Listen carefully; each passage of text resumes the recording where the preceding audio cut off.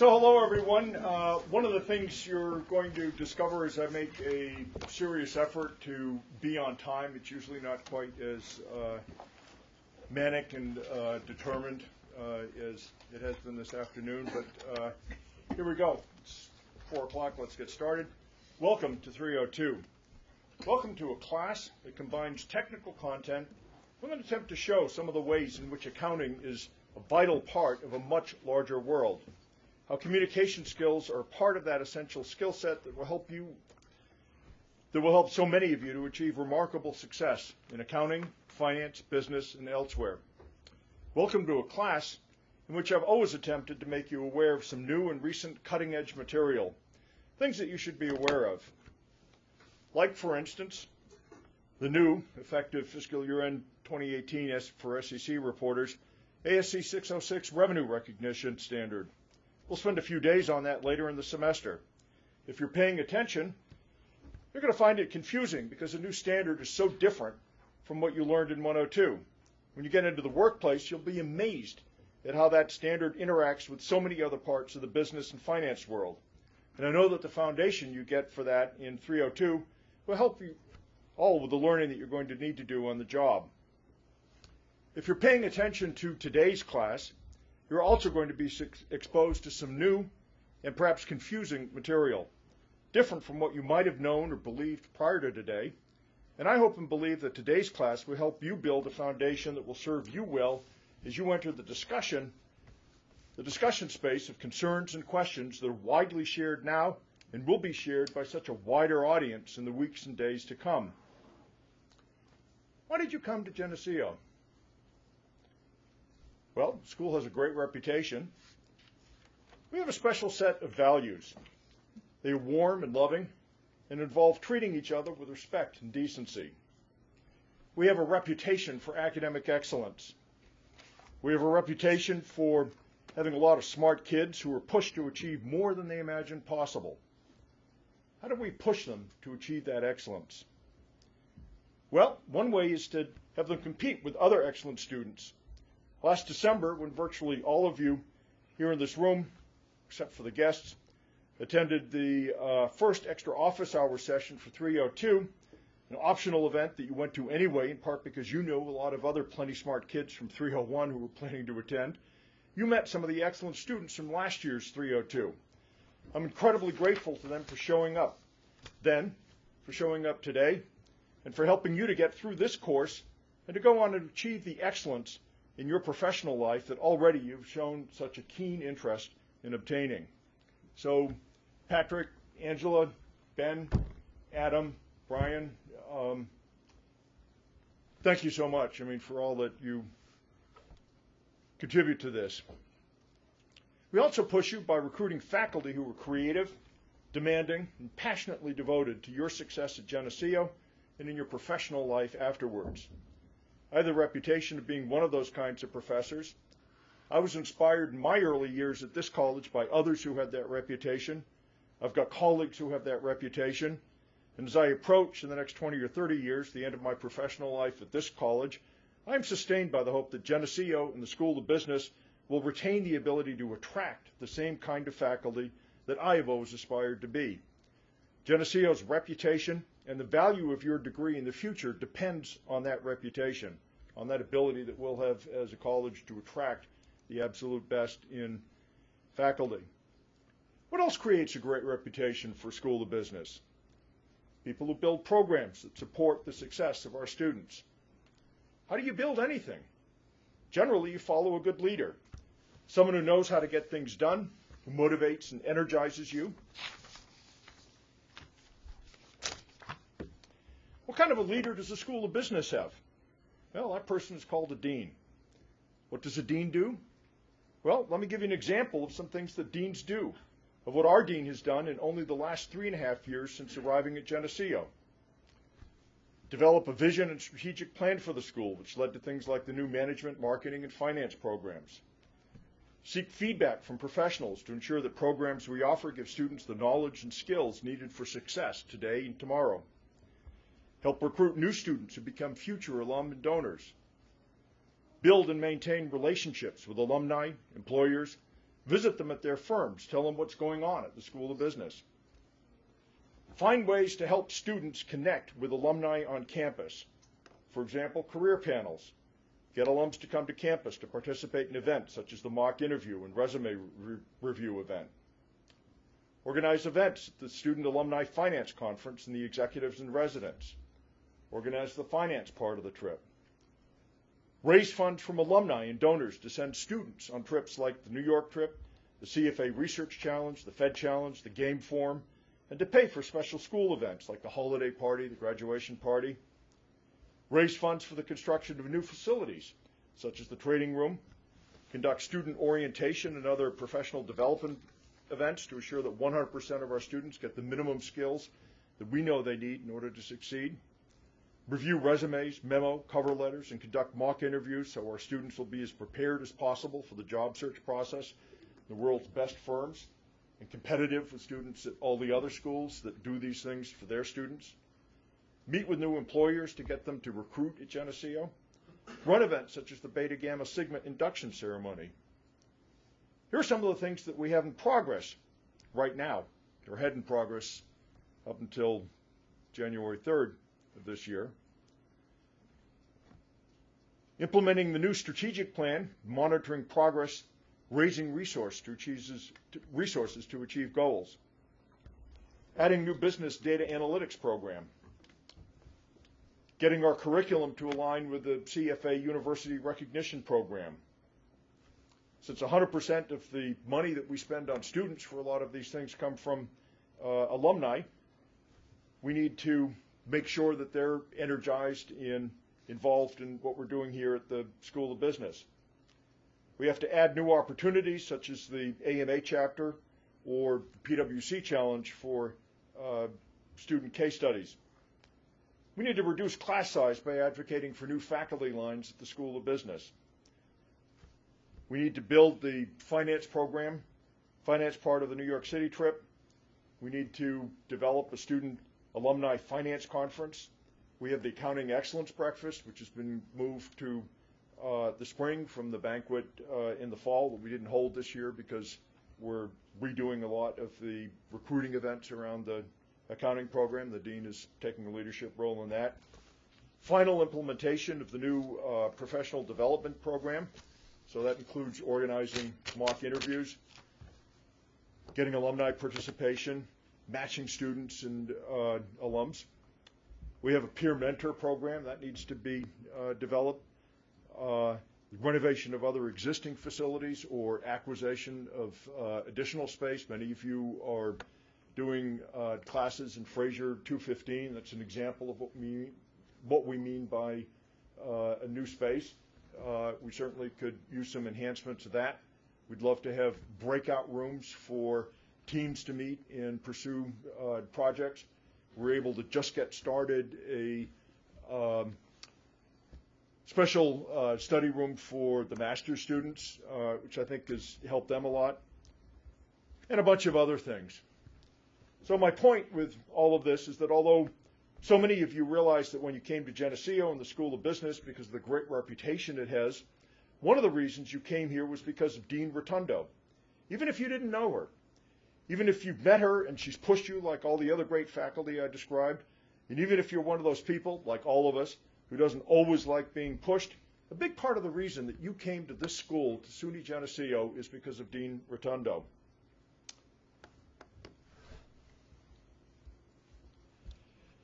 And now, in the middle of the weirdest few weeks that I've spent in 22 and a half years at Geneseo, in the midst of circumstances so weird that they have thrown every single part of the Geneseo community into a bit of chaos, from the School of Business to the campus administration to faculty in virtually every department on campus, to SUNY Central in Albany, to alumni and donor groups, and soon enough to students and their parents and people they know and future students and faculty. In the middle of circumstances that, in the words of one friend and colleague, are unprecedented in 50 years, and he should know because he's taught in this campus for most of those 50 years. Well, today is going to have a few more weird circumstances. And from today's class, this should be should go out a call for deep, searching, comprehensive, evidence-based, and sober inquiry into some of the matters that I raised today and into related matters that others are raising. I'm not going to ask you to take my word on this for anything. In fact, I'll be quite disappointed if you do. Accountants demand evidence. They examine evidence, they certify evidence, and they communicate it to others who rely on that evidence to make important decisions. That's what we do as accountants. And 302 students in particular, pay attention because there will be a no fooling quiz at the end of this class. So I'm doing a lot of things today that I've never done before, but 2018 is already shaping up to be a year of firsts, and plenty more are coming. So here are a couple of legal disclaimers before we go any further. You've all had these before, right?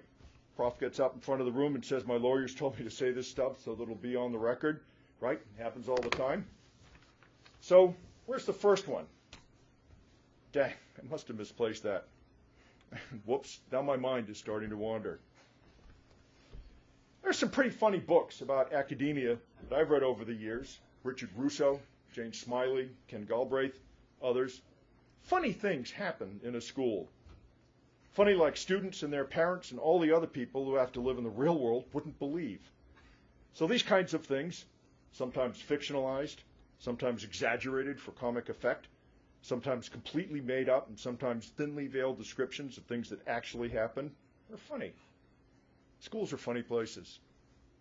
Let me give you a hypothetical, made up, fictionalized, for instance, the kind of story that I mean. Say some professor at a public liberal arts college, some out of the way rural location like Iowa or Missouri, Western New York, gets the idea in her head that as a result of some weird campus politics, the college's head of fundraising got involved in a plot to fire the head of a really popular, successful, and well respected department. The music department say. And this professor, cellist say, who was tuned into a lot of influential alum, donors, and friends of the college who were all successful, when the news got out, they all go ballistic. Why did you fire the head of the music department right before the student orchestra world tour? Why did you do that? This cellist goes to a meeting with a head fundraiser. And based on some things that happened in the last 24 hours that convinced the cellist that the president who fired the head of the music department right before the student orchestra world tour is on his way out. That he's not particularly well liked by the college in general and that he's bitterly resented by some uh, and that all of the donors are unhappy. And that not even the president survived, professionally speaking, that kind of pressure especially when a ton of other things start coming out of the closet. Well, the cellist goes to a meeting with the campus chief fundraiser and says, You know, you want to think what will happen to you when the president goes. Whether it's better to get fired by the next president or to get out while the getting's good. Getting fired could harm your career. This is a pretty shocking thing to say for a cellist. Maybe it's a pretty shocking thing for the fundraiser, whose only friend on campus just happens to be the president. Funny thing about shocking opinions. We can never get inside somebody's head. We never know for sure what they're going to think about what something that was said. We never know for sure what they're going to think about something that is said. Fortunately for the cellist, though there fortunately for the cellist though, there are witnesses to the meeting, including the well-known geology professor, Dr. Z, who's wicked smart and has this well-known rep for taking really outstanding notes. It's like having a video camera in the room. So this conversation is happening around the table, totally civil. The chief fundraiser makes a number of comments that defend his performance, and Dr. Z gets it all down on paper and files it away. After the cellist leaves for another meeting she had to get to, um, the chief fundraiser gets really angry, like acting crazy angry. And you know how funny people are when we get angry. So she goes running downstairs to the president's office screaming, What can we do to punish this professor? Well, part of what makes no- novels about colleges so funny, makes colleges so different from other places, is that the president has to give the answer that college presidents all over the world give. Namely, you know, not much. Hardly anything I can think of, actually. If I actually tried to do anything, it would probably make matters ten times worse or some number larger than 10.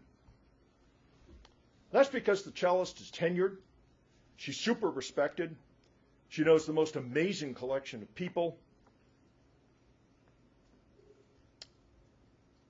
She made a couple of bucks in the stock market, a couple of other things. Oh, yeah, she's also a fully paid up member of this really strong union that all the teachers belong to. See how the characters have these really asymmetric strengths? You've got the super powerful president, as presidents are, and then you've got this cellist who kind of comes out of nowhere.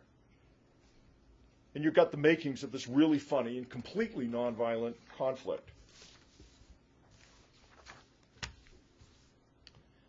Plus, the cellist has a pretty good cause. She thinks it was a really stupid decision to fire the head of the music department right before the student orchestra world tour. She's appalled that no planning had been done. There wasn't even a bus to the airport. No one seems to know anything about it, and no one is saying anything. I mean, it's just a total mess. Meanwhile, the president and the chief fundraiser start plotting against the cellist. One of them gets an idea. Didn't the cellist use the word harm? Couldn't we twist his words into an allegation that he physically threatened the chief fundraiser? Couldn't we use that as some means of keeping the cellist off campus? So they go to Jim Bixby, the head of the campus HR, and they file a grievance against the cellist and try to get her barred from campus. There has to be hearing on that, and Dr. Z shows up to save the day. The grievance case basically gets laughed out of court. It's a little technical, a little more technical than that, but uh, that's basically what happens. There's a lot more to this hypothetical, but like most novels with a happy ending, the bad guys get fired, the head of the music department gets reinstated in the nick of time, the student orchestra uh, world tour is like this insane success, and at the end of the deal, the cellist has bought a nice place off campus and she's back to Bach. So that's all weird. Where's I going with this? Yeah, importance of deans, legal disclosure. Got it. We're back on track.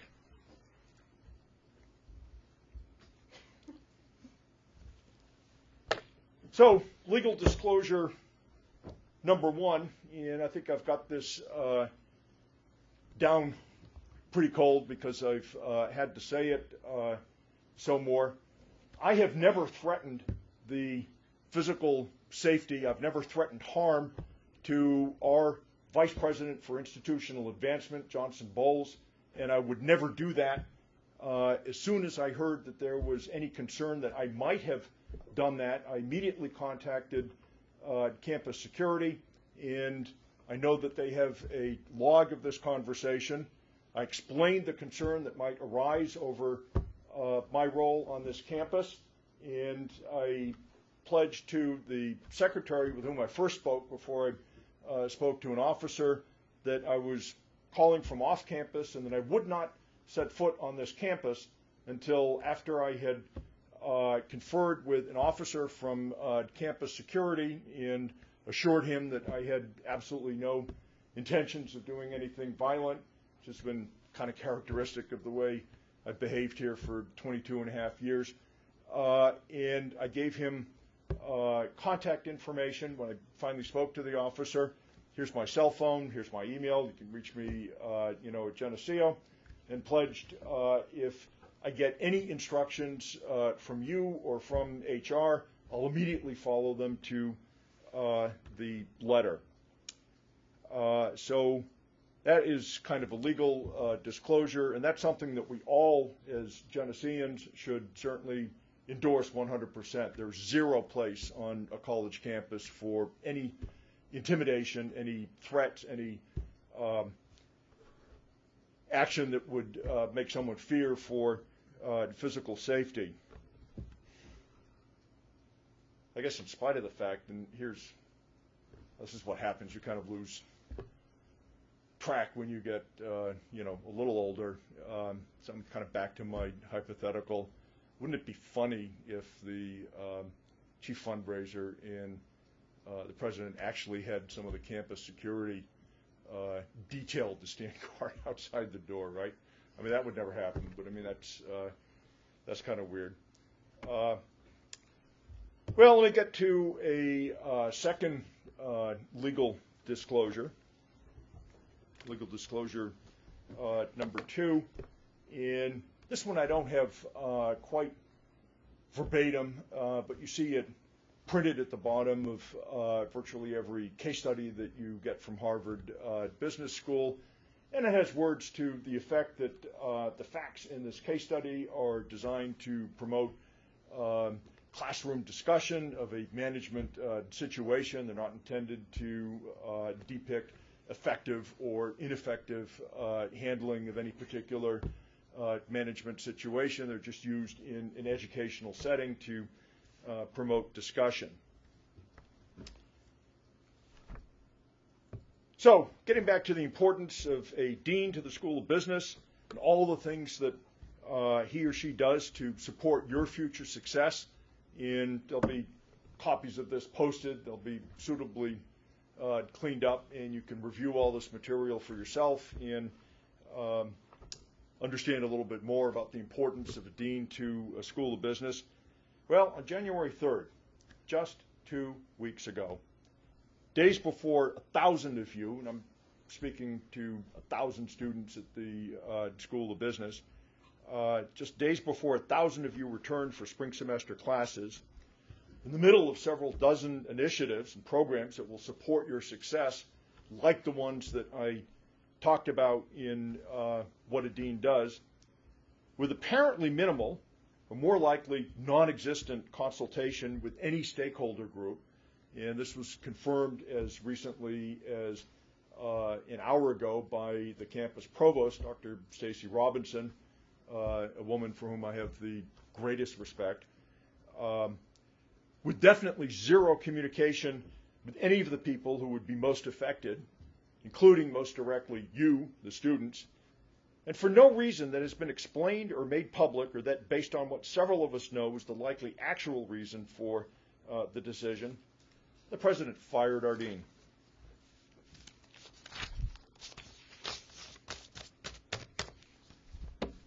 President fired our. There was no warning, no explanation, and for more than a week, no external calculation, no, no external communication. And when that communication did come, a lot of people found it strange and inadequate.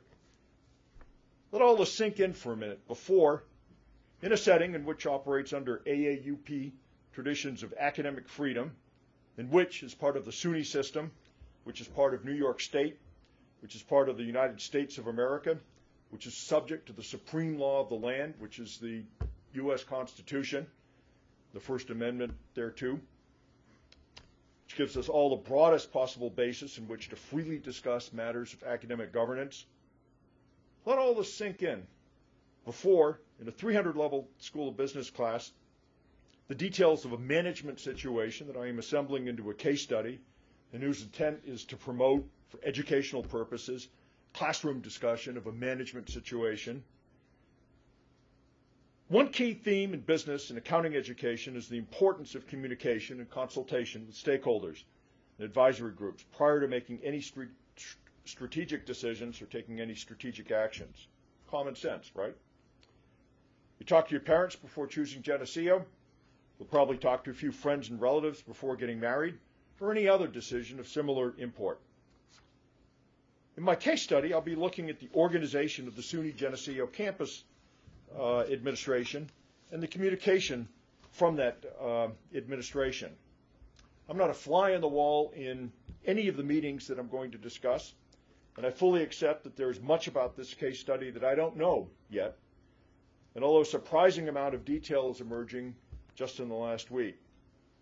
I'm going to explain why it is interesting that no one from most or all of the stakeholder groups has stepped forward to explain or even support the dean's dismissal. I'm going to point out a few areas in which there is a lot of anger and um, surprise. And I'm going to continue updating this case study as more and more people come forward to help me fill in the blanks.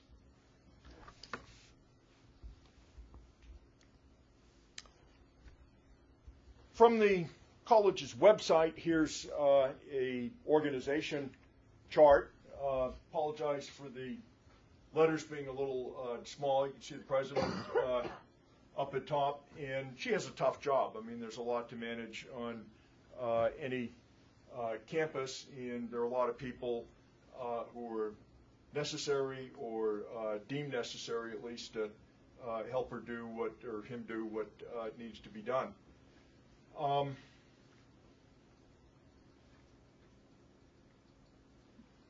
this guy vacant seems to be getting around all over the place. Uh, you got to admire that when someone can wear a lot of hats. It's uh, pretty helpful. Uh, I know that uh, my campus colleague, uh, Dr. Iyer, is uh, teaching this uh, spring that she's stepping back from that role.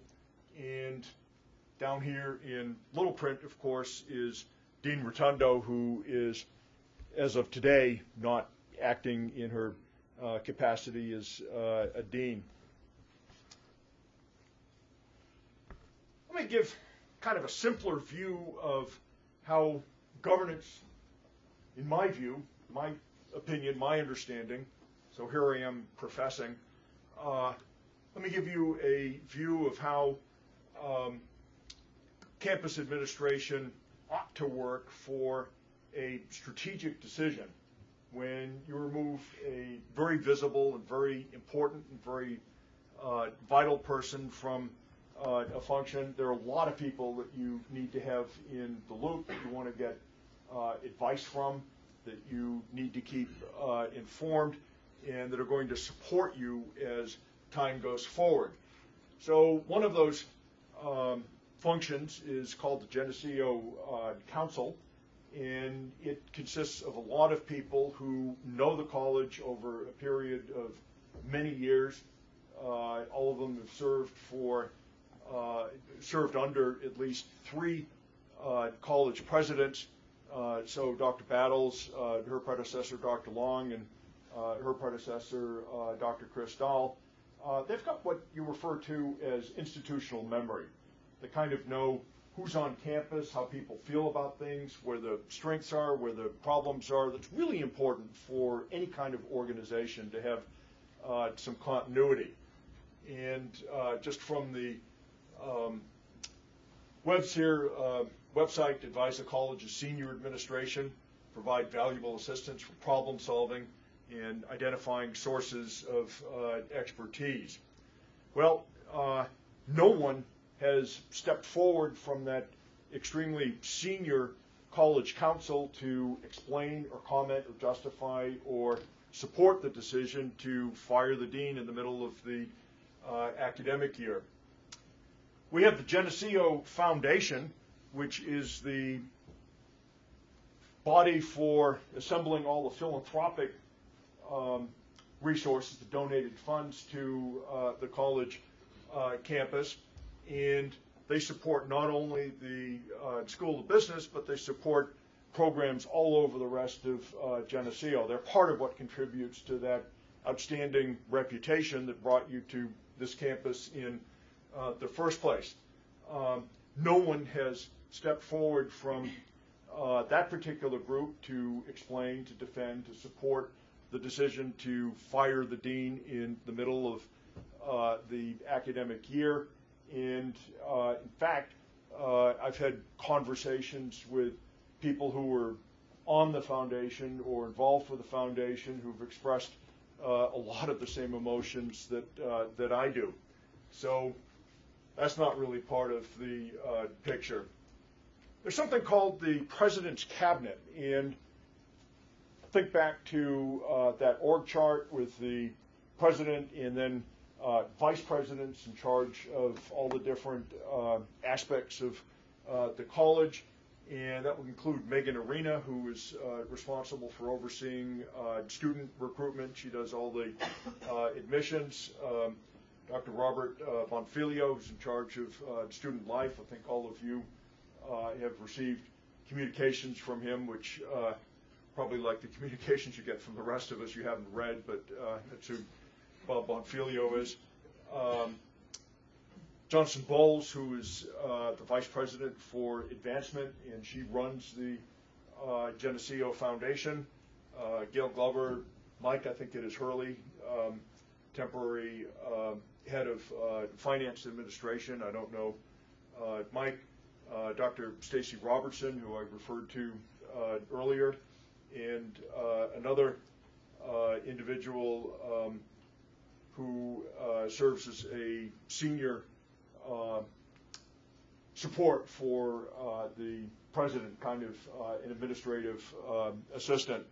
Um, Dr. I'm not good with names that I'm just reading for the first time, so I apologize to uh, Heather Loban Virvong, uh, is a PhD. She's got some pretty interesting uh, experiences. She is extremely uh, portable, and I'm sure um, if she ever decides to not be here on this campus, that she's going to have a lot of very good um, professional uh, opportunities uh, for her.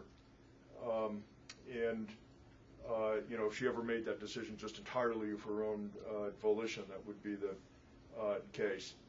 Well, not everybody on the president's cabinet has uh, participated in uh, this decision. And as of um, today, to the best of my knowledge, I'm running a little behind in answering all the email and the phone calls that I've been getting in the last uh, 10 days.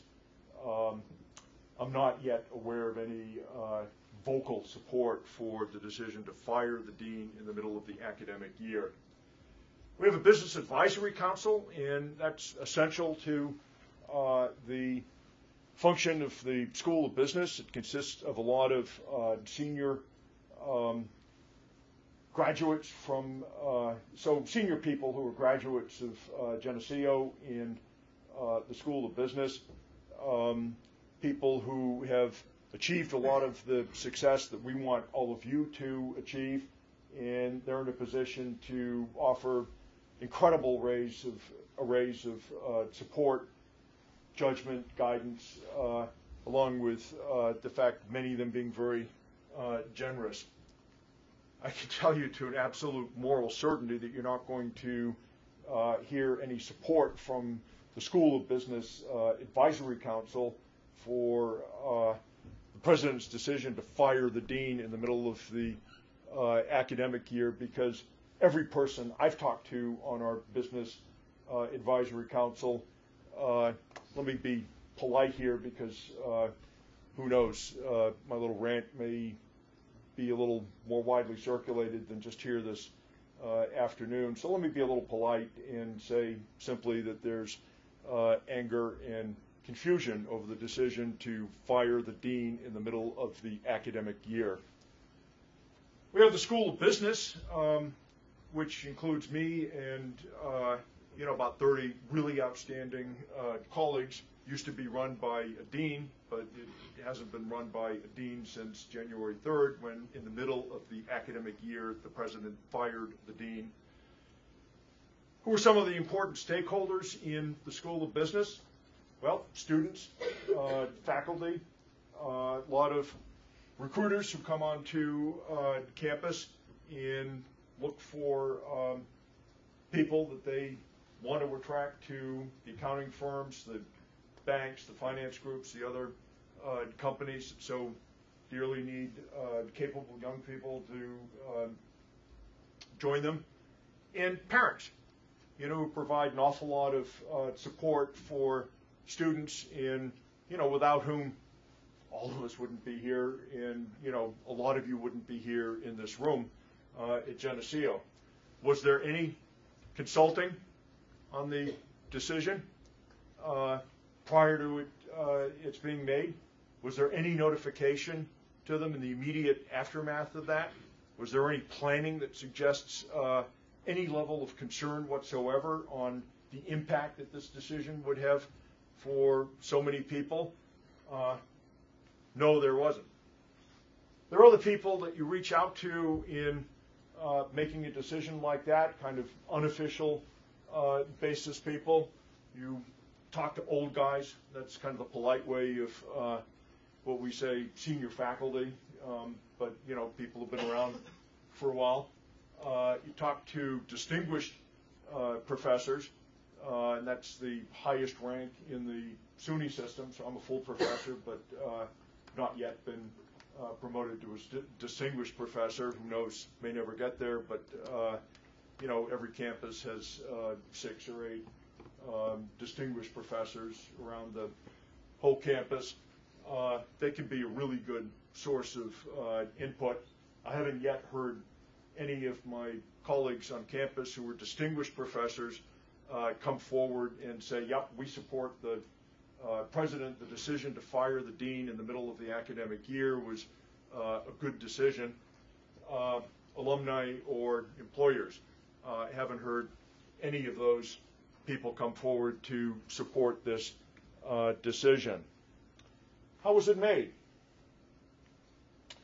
Well, let me talk about a couple of uh, people that I know uh, have the ear of uh, the president in, um, I'm sure, advised her on um, the decision to fire the dean in the middle of the academic year. Uh, the gentleman to President Battles' uh, right is her husband, uh, someone named Mike Mills, and someone who I have on very good authority. is a great guy. He's a nice person to sit down uh, and have a cup of coffee with. I'm not yet aware of any uh, official position that uh, he has, which by SUNY policy would give him standing to advise the president on a strategic uh, decision of the import uh, of the import of uh, firing a dean. Uh, but you know we're human, and you know it's very natural for people to turn to uh, their spouse for advice. I mean, obviously that happens all the time uh, on an informal basis, and you know we're all happy to have that kind of support from a spouse. And uh, over here is a picture of um, Vice President for Institutional Advancement, uh, Johnson Bowles, uh, who I know was uh, in very involved in the decision to fire the dean uh, because she was there in the room when uh, when it happened. So she's had some kind of uh, input. Again, because there hasn't been very much said uh, about the process for making this decision, and there hasn't been any defense of it that has been made public by uh, the administration. I don't yet know uh, more about it. I'm talking to an increasing number of uh, people who are providing me pretty interesting insights into further avenues of uh, investigation. So it may well be that there are quite a few other uh, people who were involved in the decision, and you know we'll find out. I look forward to adding to this uh, my case study that I intend to publish uh, with co-authors as uh, a uh, scholarly work.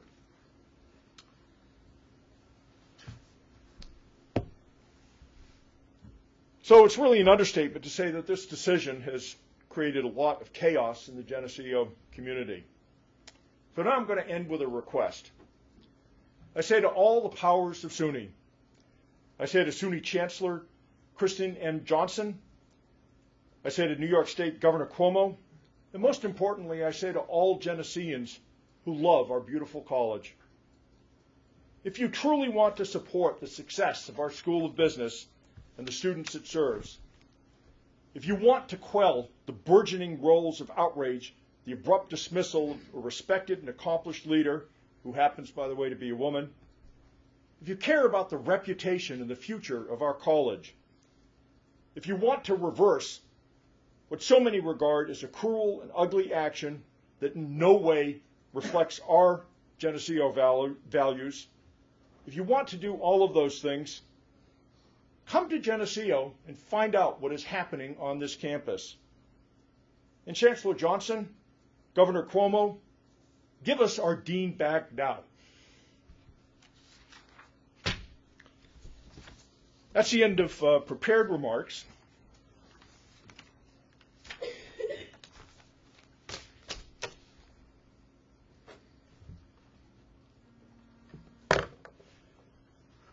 Usually, uh, I've got a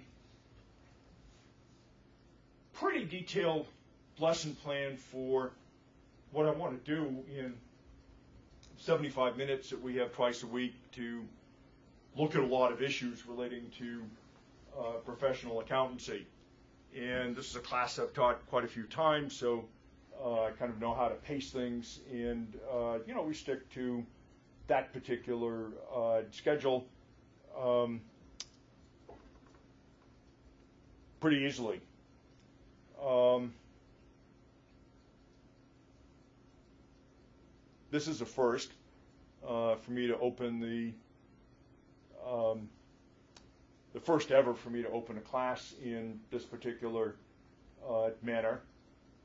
Pretty much of a first for me to uh, have a class plan that I haven't uh, rehearsed in uh, completely gone through a couple of times. And you know, I've got the pacing, I've got the words, I've got all that uh, stuff down. It's pretty obvious I didn't uh, this afternoon, although clearly had some prep. Could have done better, but uh, you know, just ran out of time. Uh, we've got another 35 minutes here together. How do you want to spend it? What do you want to do? Do you have anything to say? Do you have any questions? Some point, we can get to that quiz. It's actually going to be a little simpler than some of the quizzes you'll have in uh, the spring. It's going to have, uh, I'm just kind of making it up right now, uh, have your natural name because it's kind of important to uh, know that you were here. Uh, and then it will have uh, whatever you want it to have. and here's what I mean.